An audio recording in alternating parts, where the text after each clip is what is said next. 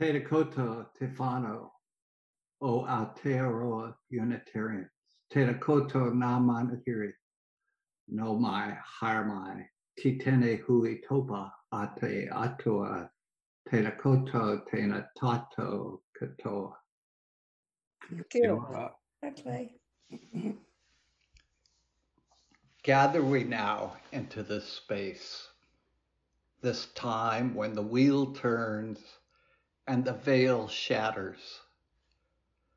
Gather we now to remember, to grieve, to fro- prophesy, to complete our harvest before the long dark comes. Gather we now to tell the old stories and sing the old songs, to be as we have always been, the voice of our people eternal. Gather we now to celebrate that which was, that which is, and that which will be. Gather we now as we have always done, united by story and bound by love. My opening words are by Cervantes. He wrote this in Don Quixote. Blessing on him who invented sleep, the mantle that covers all human thoughts, the food that satisfies hunger, the drink that slakes thirst, the fire that warms the cold, the cold that moderates heat, and lastly, the balance and weight that equalizes the shepherd and the king, the simpleton and the sage. Our opening song is not found in our hymnal, but if you're a Joni Mitchell fan, you might enjoy it.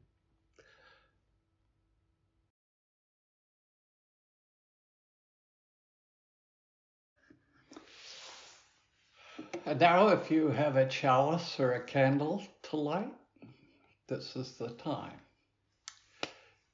Even as the days grow shorter and our homes shrink smaller and our wicks burn lower and our will to endure flickers, we light this chalice to kindle a flame of warmth as a reminder of the connection that draws us into a community that opens us up in gratitude for the breath in our lungs and the love in our hearts for the gift of this day alive.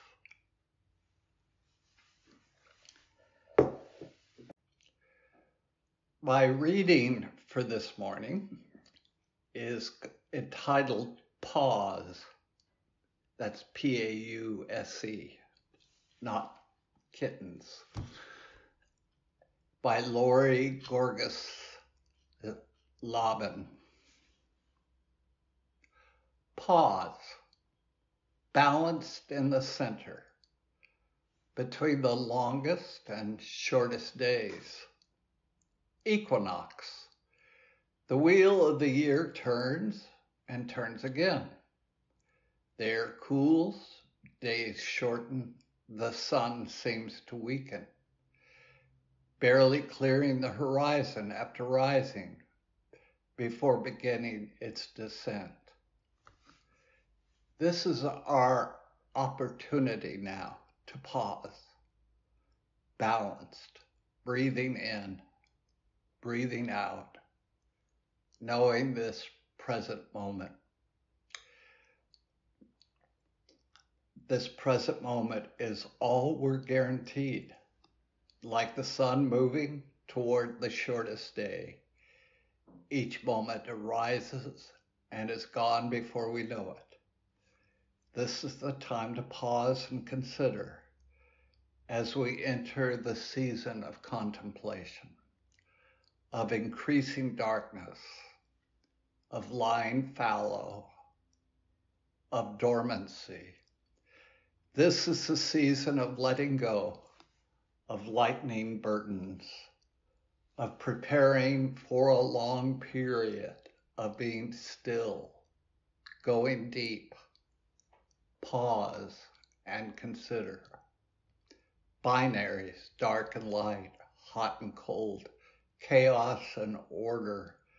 Neither extreme is inherently good or bad. It's all a matter of balance, of honoring the spectrum for which binaries mark the endpoints. Today we mark the midpoint between summer and winter solstice, a time to seek balance and be free. And now we'll listen to something by a Unitarian composer called So We Go.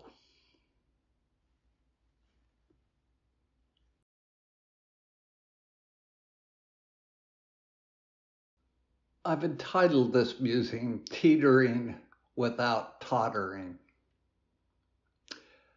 When I was a child, I liked to play on the teeter totter at the playground.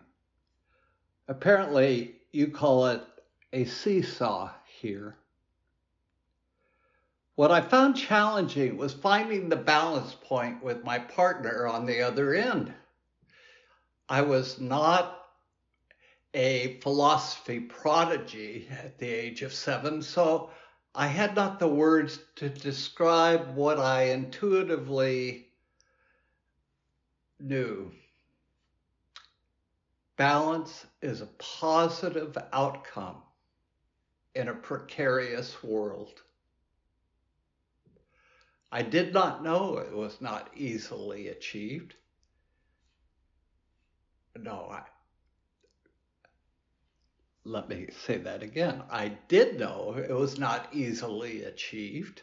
As likely as not, one end would crash down with, in my case, prostate jarring intensity, while the other end would fly up, threatening to launch the occupant into the stratosphere.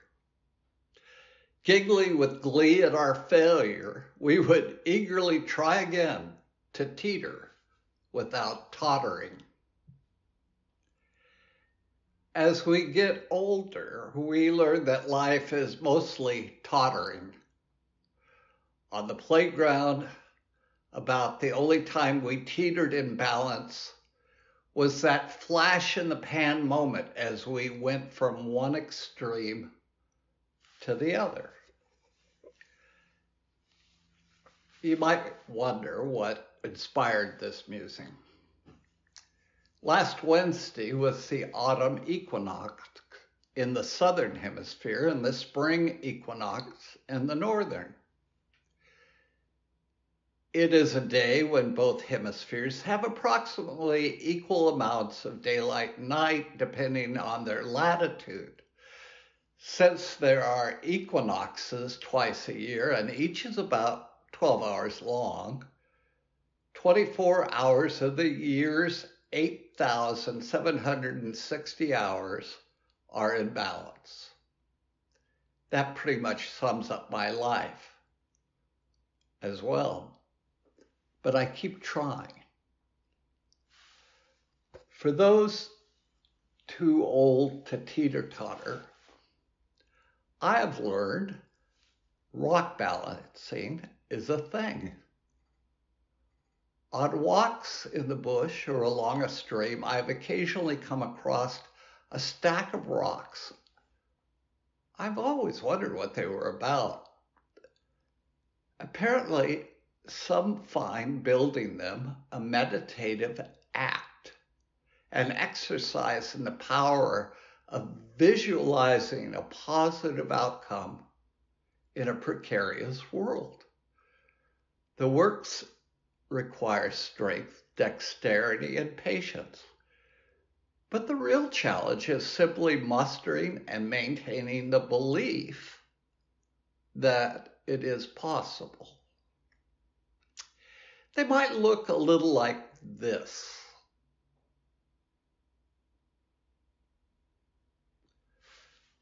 Or this.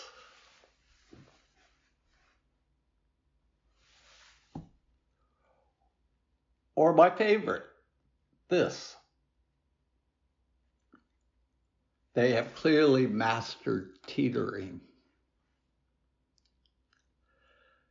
Just seeing these improbable positive outcomes in a precarious world is today's musing. Preach the gospel always, so said Francis of Assisi, and if necessary, use words. In Buddhism, the lotus flower, which is born in mud at the bottom of the pond, rises and blooms at the surface symbolizing enlightenment. In the Hebrew scriptures, the rainbow represents God's covenant with humankind. Orthodox Christian devotion contemplates the holy mystery of the cross. Unimpressed by the preaching from the pulpit, Waldo Emerson, in his pew in Concord, was transfixed by what he saw through the clear glass windows of that sanctuary, such as the changing colors of the leaves.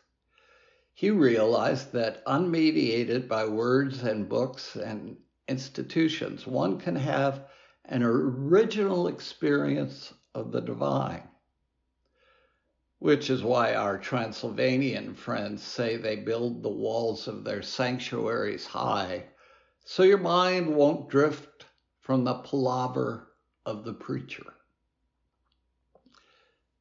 Experiences of the natural give us glimpses of the miraculous.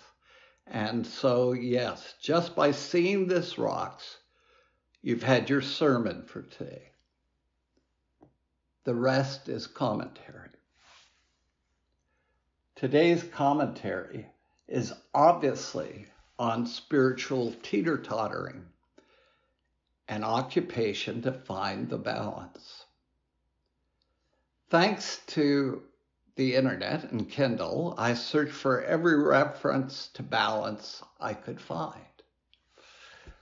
One book entitled Balance in Search of the Lost Sense claims that in addition to our five senses, we possess a sixth innate sense of balance operating automatically below the level of consciousness. It orchestrates our nerve impulses and allows us to dance with gravity. That book tells the story about Karl Wallenda of the Flying Wallendas. Karl probably had the most perfectly honed sense of balance of any human being in the 20th century. At the age of 67, he walked a wire across the field at Philadelphia Stadium, entertaining Phillies baseball fans. A few years later, he walked 750 feet above Tallulah Falls in Georgia despite a vicious wind. He even did two headstands in mid span. At age 70, Karl said, I get so damn lonely on the ground. Life is being on the wire. Everything else is just waiting. Most seminarians have heard uh, the story of Rabbi Hillel, who was asked by a student to teach the whole of the Torah while standing on one foot. Hillel gladly cooperated, stood on one, one foot, and said, That which is hateful to you, do not do unto another. Then Hillel said, This is the whole Torah. The rest is merely commentary. Now go study. Here's also a Buddhist story about balance. There was once an acrobat and a student who had mastered amazing tricks together. One called for the student to climb a bamboo pole and then stand on the acrobat's shoulders. The student did it as he was bid, and the master acrobat advised him, Now, lad, you watch out for me, and I'll watch out for you.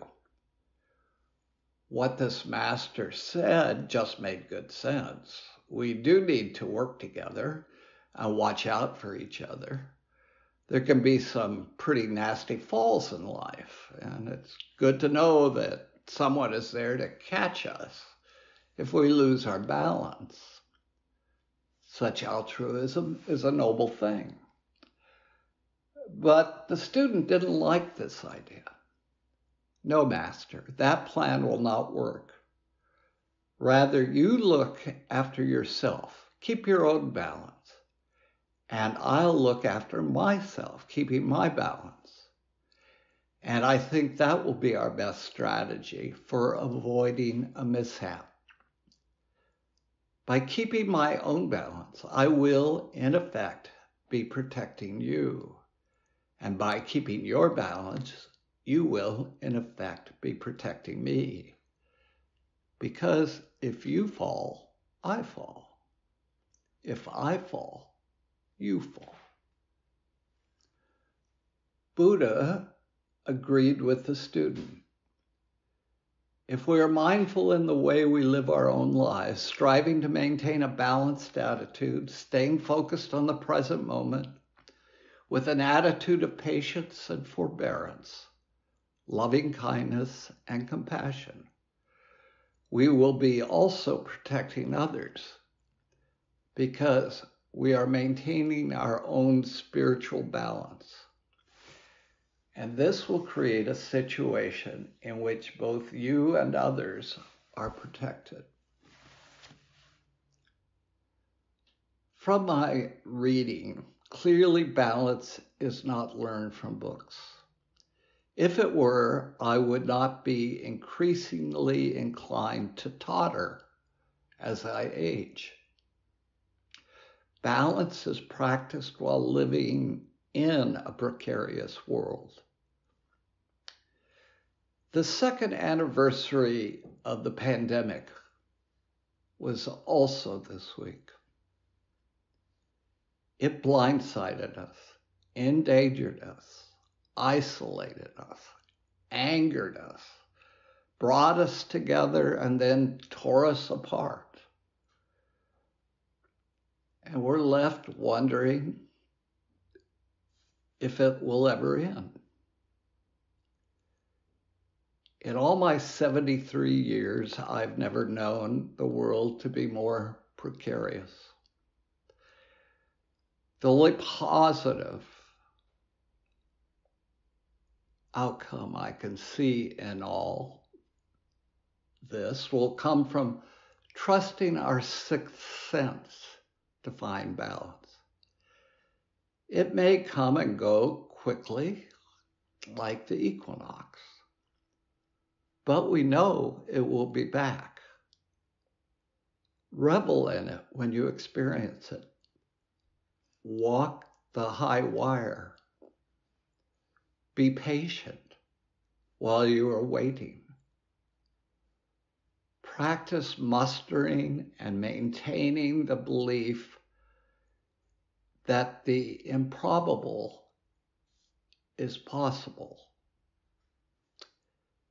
If necessary, stack rocks or go to the playground or read Shakespeare to visualize it.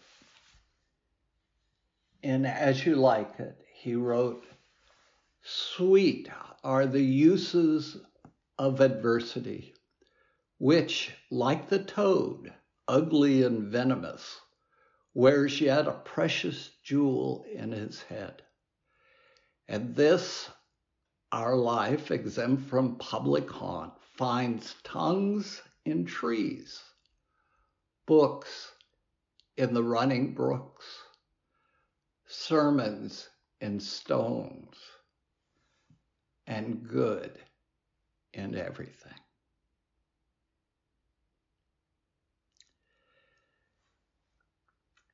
We've heard our closing song before, but this is a different version. It's entitled We Are.